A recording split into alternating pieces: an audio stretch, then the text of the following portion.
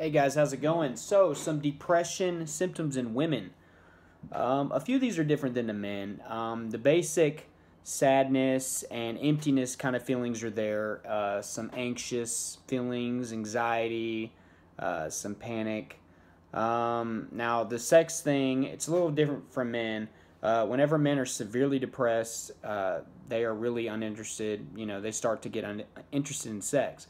But women, it doesn't take as much for y'all to uh, lose that interest. That's just the way the world works. You know, I have a wife. I know how that works. Um, whenever you know, mama's not you know happy, you know, usually something's not going to happen back in the bedroom. So. Um, that's one of the major differences. You know, it's a lot easier for women to push off the sexual aspect uh, whenever they're feeling down or depressed. Um, there's a lot of guilt, you know, worthlessness, hopelessness, uh, a lot of negative, you know, feelings, negative Nancy, pessimistic kind of attitude. Um, now, women also are a little bit different. You know, men will kind of they'll know what's going on with themselves and they'll just put it off. You know, they'll let it build up.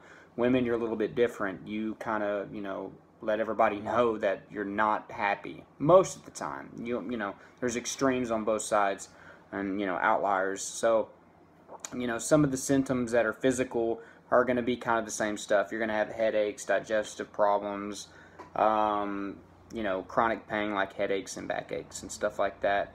Um, a lot of women, you know, they suffer depression for different reasons, but um, they handle it different ways. Men will tend to turn to drugs and alcohol, you know, to satisfy their wants or their happiness, so you know, so-called happiness that they're going to find, uh, trying to fill that void and hole with that. Uh, women are a little bit different. They've been known more to sleep more. Um, you know, they want to seek comfort from friends. Um, they'll eat more. So gaining weight, I guess, would be another symptom of that. Uh, so see, these are some of the symptoms uh, for women. Okay, they differ a little bit from the men, but uh, there's a lot of the same kind of symptoms. So if you're experiencing any of these, not just any of them, it's probably be you know would be a few. I'm not here to diagnose you. You need to go see your family doctor to do that, um, and from there see you know your treatment options. I'm not here to prescribe you anything. I'm not here to tell you to do this or do that. Um, I'm just here to give you these symptoms. I'm going to go further along in my videos and give you more videos on depression and some of the things that you can do and what helped me. Um, so yeah. Thank you so much for watching my video, guys. It's important to know that you're not alone and together we can get through it.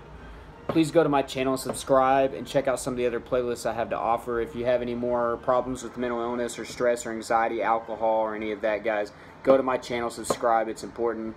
There's something there for everybody. Um, please like and comment on this video, and I'll see you next time. Thanks.